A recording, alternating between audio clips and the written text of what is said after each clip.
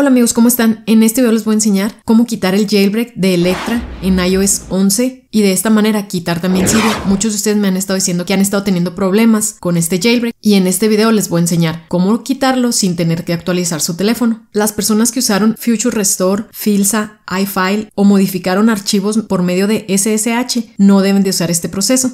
Lo primero que van a hacer es entrar a Cydia. Para este método necesitas usar una computadora, puedes usar Windows o Mac y tienen que estar en modo de jailbreak para poder entrar a Cydia. Una vez que estén en Cydia, van a entrar a buscar y van a buscar subs. Este paquete lo tenemos que eliminar para evitar tener problemas al desinstalar el jailbreak. Seleccionan modificar, eliminar, confirmar y aquí ya lo está eliminando. Lo reinician. Una vez que ya se reinició el teléfono, vamos a ver si estamos en modo de jailbreak en Electra. Van a entrar de nuevo a Cydia se van a ir a buscar y este paquete lo deben de tener instalado. Una vez que ya revisaron que sí está instalado, nos vamos a salir de aquí. Este procedimiento lo pueden hacer en Windows y en Mac. Yo lo voy a hacer en Windows. En la descripción del video les voy a dejar estas tres páginas a las que vamos a entrar a descargar algunos archivos. El primero es CyberDoc. Si tienes Windows, lo descargas aquí y si tienes Mac, aquí. Yo lo voy a descargar para Windows. Nada más seleccionas aquí y vamos a salvarlo. Ahora entramos al segundo link. Si tienes Mac, no necesitas descargar PuTTY porque en Mac puedes usar Terminal. Si tienes Windows, lo descargas aquí. Y aquí van a descargar dependiendo su sistema operativo, si es de 32 bits o 64 bits. Si ustedes no saben de cuántos bits es, pueden entrar al inicio de su computadora, seleccionan los ajustes, sistema, y se van hasta la última opción, aquí, donde dice About. Y aquí les dice si es de 32 bits o de 64. El mío es de 64. Voy a descargar este. Y el tercer archivo que debemos descargar es en esta página. Recuerden que estos tres links se los estoy dejando en la descripción del video. Seleccionen aquí en el botón verde donde dice clone or download y descargar zip. Ya nada más vamos a esperar a que terminen de descargarse los tres archivos. Ya se terminó de descargar aquí los tres archivos. Vamos a abrir primero CyberDog y vamos a instalarlo. Voy a arrastrar aquí al escritorio el archivo de, de Electra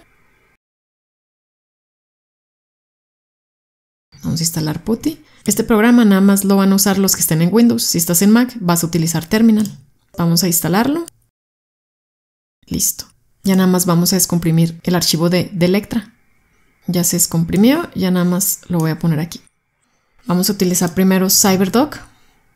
Seleccionan Open Connection. Selecciona aquí donde dice File Transfer. Y van a seleccionar SFTP File Transfer Protocol.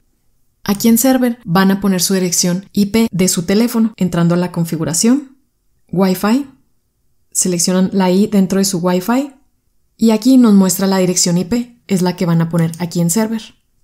Se van a ir aquí a Username y van a poner root y en password alpine, permitir. Aquí debemos estar en este folder en private, bar y root. Ahora el archivo, el que descomprimimos de, Electra, lo van a arrastrar hacia aquí. Seleccionan permitir. Vamos a cerrar esto.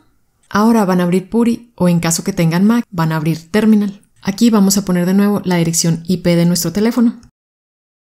Seleccionan Open. Yes.